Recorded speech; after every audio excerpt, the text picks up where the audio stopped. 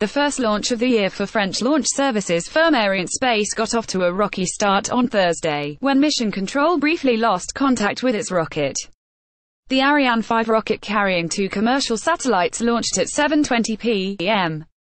local time 2220 GMT from the Kourou Space Center in French Guiana. Around an hour later, Arianespace CEO Stéphane Israël announced that the controllers lost contact with the craft, saying it was an anomaly.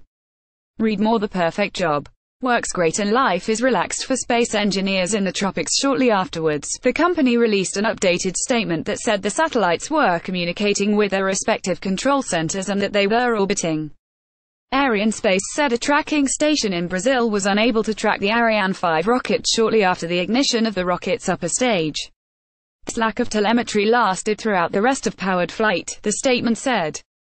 Read more first German-built satellite in more than 25 years reaches orbit NASA mission on board the two satellites belong to Luxembourg's SES and the United Arab Emirates Yahsat.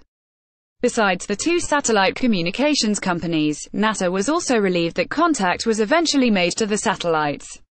Read more scientists find ice deposits on Mars with potential to support human visitors. The SES-14 is carrying equipment for the U.S. Space Agency's latest NASA Gold mission to study Earth's boundary to outer space as well as space weather.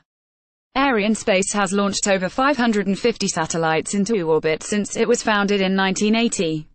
Several of its satellite passengers have included the European Space Agency's ESA Galileo GPS system, RSS DPA,